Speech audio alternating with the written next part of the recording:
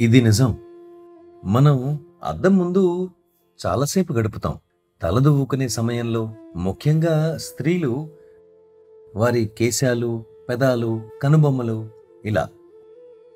కానీ మనం కళ్ళు మూసుకొని అంతరంగంలోకి చూసుకున్నప్పుడు మీ హృదయం అనే అద్దంలో మీ ఆత్మసాక్షి చైతన్యం అన్నీ మిమ్మల్ని వెంటాడుతాయి.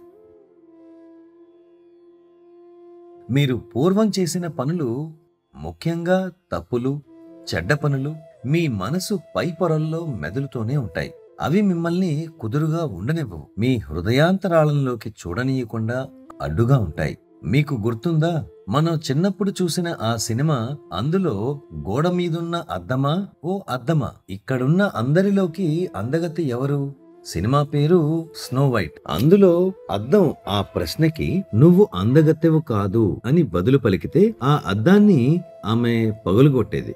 ధ్యానంలో మనకు మన వికృత గుణాలు కనిపిస్తే ఏం చేస్తాం? మనం ధ్యానం చేయడం నిలిపివేస్తాం. ఇది మన సమస్యకు పరిష్కారమా? ఆ సినిమాలో అద్దం పగులుగొట్టింది ఒక మంత్రగత్తె. మనం అలాంటి మంత్రగత్తెలం కాదు కదా?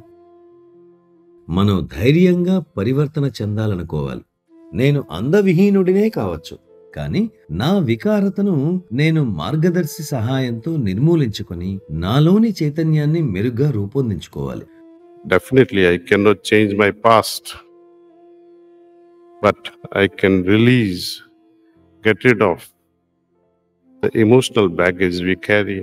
మనం మన గతాన్ని మార్చలేం కానీ వాటి తాలూకు భావోద్వేగ భారాన్ని వదిలించుకోవచ్చు. గతించిన దానికి సంబంధించినంత వరకు ఎవరూ మార్చలేరు. ఒక్క నిమిషం ముందు చేసిన పనిని కూడా నేను మార్చలేను. గడిచిన విషయాల ప్రభావం రెండు విధాలుగా ఉంటాయి. Stays here.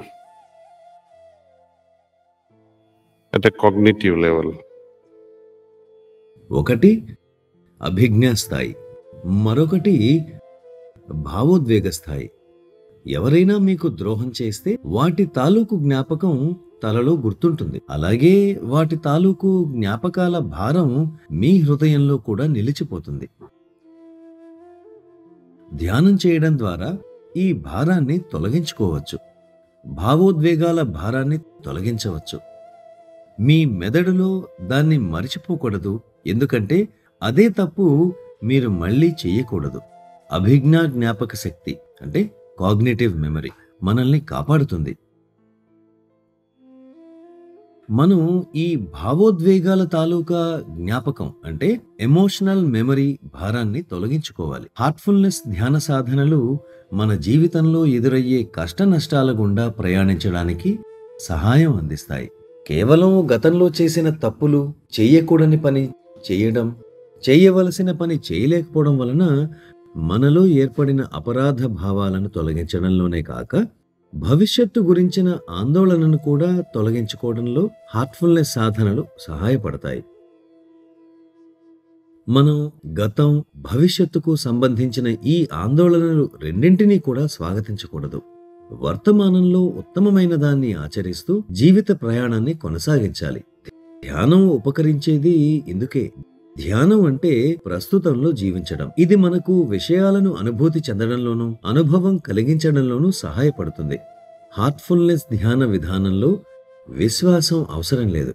అంటే ముందస్తుగా మీరు విశ్వాసం కలిగి ఉండాలనే నియమం లేదు. విశ్వాసం మీలో స్వానుభవం వలన జనించేది. ఒక శాస్త్రవేత్త తాను చేసే ప్రయోగం విషయంలో ఉన్నట్లు మనం ఆచరించాలి అనుకునే వాటిపై అంతే నిర్దాక్షిణ్యంగా ఉండాలి. దురదృష్టవశాత్తు మతం విషయంలో మనం మొదట విశ్వాసం కలిగి ఉండాలి అని దీన్ని అమలులోకి తీసుకువచ్చారు. ఈ రోజులో అన్ని మతాలు ప్రజల్ని ఆకట్టుకోలేకపోవడానికి ఇదే కారణం. మతాచారం ఎవరైనా పాటిస్తూ ఉంటే అది కేవలం భయం లాభాపేక్ష కోసం మాత్రమే ఆచరిస్తున్నారు. ఎవరిలోనూ కూడా భగవంతుని ఎడల నిజమైన ప్రేమ లేదు. ఆధ్యాత్మికత ధ్యానం ఎవరిలోనైనా వ్యక్తిగత అనుభూతి అనుభవం ద్వారా స్పష్టతను కలిగిస్తాయి. భగవంతుడు ఉన్నాడో లేదో అనే తటస్థ వైఖరి కూడా కలిగి ఉండకూడదు. నేను ఆ భగవంతుని ఉనికిని అనుభూతి చెందడానికి సంసిద్ధంగా ఉన్నాననే ఆలోచనతో ప్రారంభించి అనుభవం కలిగిన తర్వాత నేను ఇప్పుడు నమ్ముతున్నాను అనాలి. కానీ ఏ అనుభవం లేకుండా భగవంతుని నేను నమ్ముతున్నాను అని అనడం సరికాదు. Not before that